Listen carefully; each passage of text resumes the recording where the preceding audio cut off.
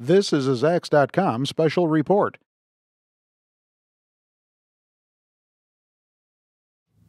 Now, in this part of our special coverage on the stock market, technician Kevin Matras will present his balanced strategy.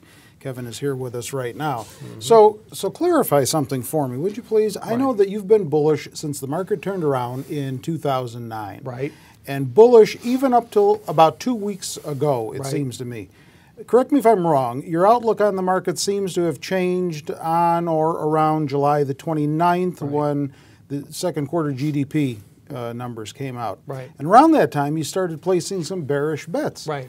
What it, gives? It's funny. The uh, I was bearish leading up to this, and I did kind of change my mind abruptly.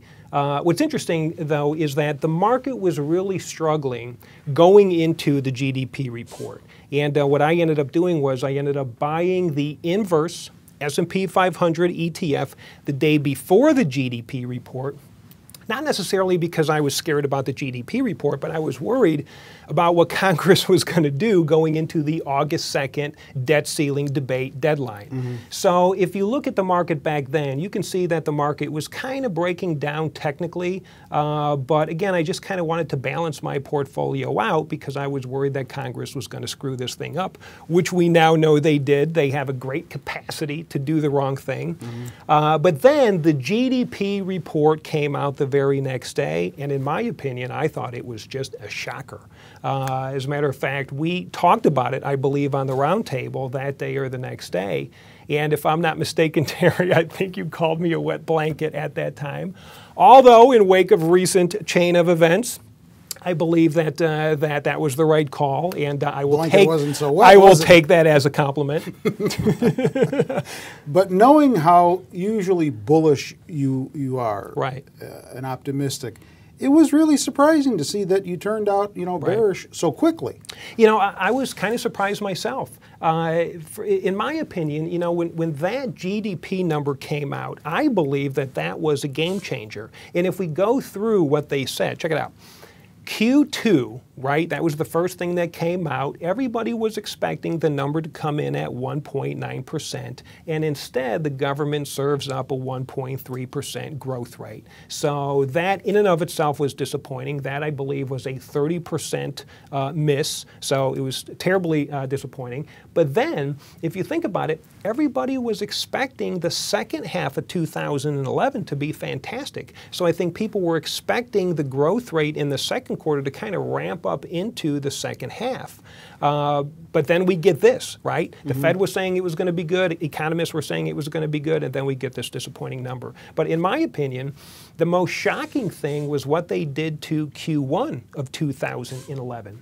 The whole world had been believing that the U.S. economy had grown at 1.9%, and then they came out and they just eviscerated it down to 0.4%. That was a 78% downward revision. Literally had to be one of the worst GDP reports I had ever seen. Yeah. Then to top it all off, they went back and they actually downgraded Q3 and Q4 of 2010. Mm-hmm. Now, to be fair, they did increase 2010 in its entirety. They bumped up the growth rate to 3%, so that was nice to see. But everybody was expecting Q3 and Q4. We had been told that Q3 and Q4 we were accelerating into the end of the year. We all thought those were spectacular numbers, but the picture they then painted was one of a decelerating economy as opposed to one that was accelerating. And it was at that point that I started getting bearish because I'm thinking to myself, how are we possibly going to meet these lofty expectations? We're not going to. Then fast forward to today, and you get that S&P downgrade, and that is really when the sky started to fall apart. Well, I enjoy talking with you because I know that you look at, at the charts. Right. And uh, for those who who are bent to the technical side of the mm-hmm. markets, did, good bend. That's a good bend. did the market throw off any clues, uh, chart patterns wise, right. I guess is what I'm asking, as to what it was going to do?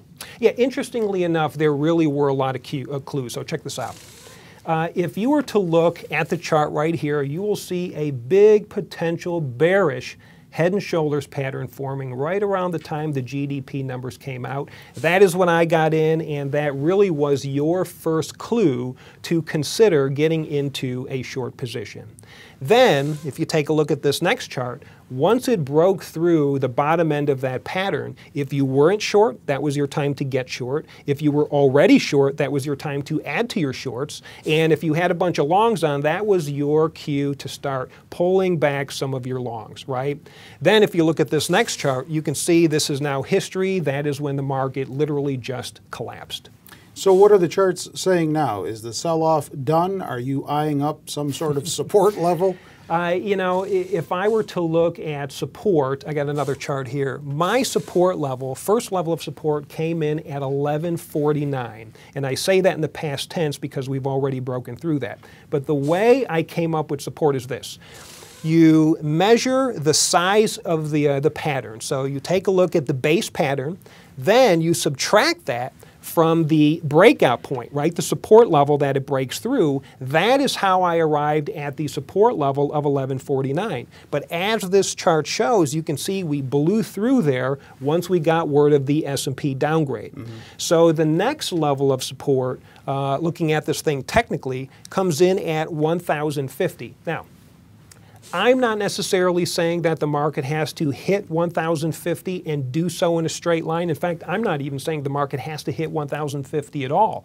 But if it does go down from here, I believe this is where the technicians are going to be looking at, and, uh, and this is something that everybody is going to have to start paying attention to. Personally, though, I really do believe the market is ready for a bounce. I think we are grossly oversold. I think that we are long overdue, and I think that there's a lot of fantastic stocks out there that just had so much value stripped away. I really do believe that we are ready for a bounce, but these are where the support levels lie right now. All right, so before we get into your trading strategy okay. in this new environment, let me ask you first about your views on a second a possibility of a second recession or probability. Is there one or isn't there in your view? At the moment, I say there is not going to be a second recession, and here is why. Uh, the lousy GDP numbers we got clearly showed that the economy was overstated in the past. It also shows that the forecasts were way too high, but once you look at the economic expectations for you know GDP as a whole and even for the world, you know that corporate earnings are going to have to be readjusted as well. However, here's the uh, the, the caveat. Companies have already made the tough decisions over these last couple of years. So if you look at it, companies are now leaner than ever before. They are more profitable than ever before. They have more cash on hand than ever before. And if you look at uh, their valuations from a historical standpoint, they're still at historically low levels. Mm -hmm. So corporate America has already made their adjustments. Corporate America does not need to shrink itself. Government needs to shrink itself. Now, it is true that lower government spending is going to be a drag on the economy, but since businesses have already made the tough choices, I believe that they are in a better position now than they ever have been. And I believe that they are going to be able to weather the storm. Now, as for a recession, I believe the, uh, the, the greatest fear, unbeknownst to us, but I believe the precipice of the economy falling into a recession really took place in Q1 when we actually grew by only 0.4%. Then the market or the GDP uh, uh, bumped up to 1.3%. That's no great shakes, but it was a big increase from 0.4. So I see slow growth moving forward, but I don't see a recession at this point. Interesting. All right, let's get into your strategy okay. for the markets. You now are taking a more balanced approach in the right. market. What does that mean? Right. Well, while I do have a balanced approach, I still kind of have a, a bearish bias at the moment. But I have been very careful not to lean too heavily in either direction. But let me just you know clarify. Having a balanced approach doesn't mean you can't make money when the market goes down. On the contrary, I run a stock uh, portfolio service as well as an options portfolio service. And over the last couple of weeks, both of those services have actually been able to make money while the S&P was absolutely routed. Mm -hmm. And both services are actually up nicely for the year. Uh, but for me, and my goal right now is uh, to preserve equity, manage your portfolio, and also to make some money at the same time. This is what we have been doing, and I think that we're going to be able to continue to do this as we move forward with this balanced approach. All right, so talk a little more specifically. Okay. What should an investor be doing right now in this balanced approach? What are you doing right now? Well, first off, as you can tell from those slides, I do like to look at fundamentals and technicals, so those are two things that I am going to be considering. Uh, but for anybody who has a, a, portfolio right now, I believe that you need to give yourself some downside protection. And I would strongly encourage somebody to take a look at the inverse index ETFs. Now you can do this with a 1x short, you can do it with a 2x short, there's even 3x shorts out there. For me personally, I don't particularly care for the 3x shorts because that's a lot of leverage. And even if the market were to go 5% against you, that would be the equivalent of a 15% loss, and that's something that I'm just not willing to assume. Mm -hmm. But these are the kinds of choices that are available. And if you want to give yourself some protection, uh, I would tell you take a look at the inverse ETFs. That's a great thing to, uh, to incorporate into your portfolio. If you take a look at some more specific sectors and industries, two things that, uh, that I am getting increasingly more bearish on is energy and healthcare. The first thing being energy. If it is true we are going to see slower economic growth, clearly this is playing out around the world, that means you're going to see less demand for energy. We already have a ton of supplies out there. I think that is going to cause prices to go lower. It's already happening as we speak, and I think this trend is going to continue. If you take a look at healthcare, that's the next thing that I am bearish on. I have loved healthcare. Last year, the, the healthcare stocks did great. This year, healthcare stocks were doing great in the, the first half. But I think the writing is on the wall. I think it is very clear that we need to get a grip on our entitlements, and Medicaid and Medicare indeed are on the chopping block. Both Democrats and Republicans have basically come out and said so. So I think until they make the announcement on what kind of cuts uh, those areas are going to suffer, I believe that that uh, industry is going to, uh, to take a hit. And that is an area that I am looking to get short. We even talked about this on some of the screen of the weeks in the past. Yeah. So I am still bearish on the, uh, the healthcare sector. Uh, and then also, too, I'm going to be looking at stocks to short in other industries as well. But the way I'm going to do that is I'm going to focus in on the bottom 50% of the Zacks ranked industries. We've said it before, but the top industries have a tendency of finding stocks that go up. The bottom industries typically will find stocks that go down. So I'm going to look at stocks that are overvalued with downward earnings estimate revisions with a crummy Zacks rank, and I think there's going to be a, a lot of good stock picking on the downside by doing that. Talk to me about the upside. The upside, that's always more fun, right? uh, for the upside, I am really looking right now at big tech. And I think big tech is going to be a fantastic group to be in. And if you think about it, one of the reasons why corporate America and businesses are doing so good right now is because they have been able to uh, improve their businesses through the use of tech. And if you look at technology, this is where all of the, uh, the fantastic innovation is coming from.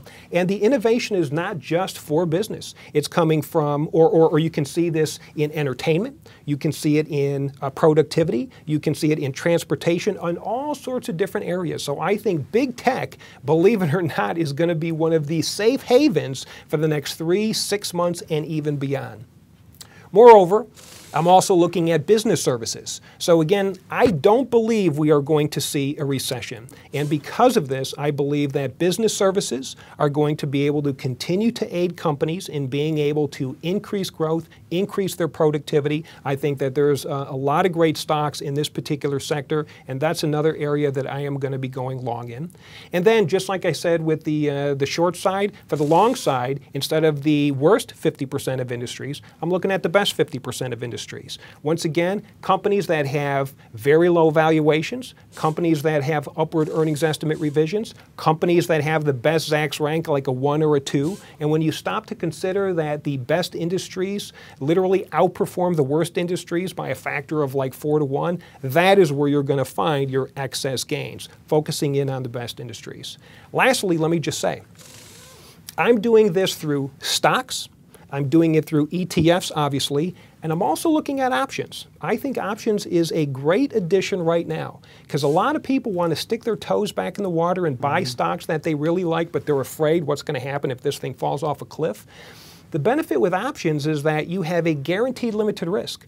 You can put in a small amount of money, you have a guaranteed limited risk, but if the market goes up, you can fully participate on the upside. And with the hyper volatility we are looking at in the market right now, I think having a guaranteed limited risk and an unlimited upside, very, very smart thing to add to your portfolio. So, for me, taking a balanced approach, being flexible on the upside and the downside, I think over the course of the next three to six months, I think you can do fantastic no matter what the market does. All right. Well, we thank you for that balanced strategy for all of us. And be sure to watch the other two videos in this three part series on the bullish and bearish strategies. That's what the other two videos are on. Then determine which one suits you. And if it's Kevin's strategy that sounds right for you, then continue to get his insights through his chart patterns trader service. That's his stock picking service. Zacks.com slash chart patterns trader is where you could learn more about that. If you like to use options, as he said, then you should look at his options trader trading service. Zacks.com slash options trader is where you can find out more information on that. Or you can follow all of our experts once again and their strategies with Zacks Ultimate. And you can learn more about Zacks Ultimate at zacks.com slash ultimate. Hope you had time to copy all of those down. With Kevin, I'm Terry Ruffalo.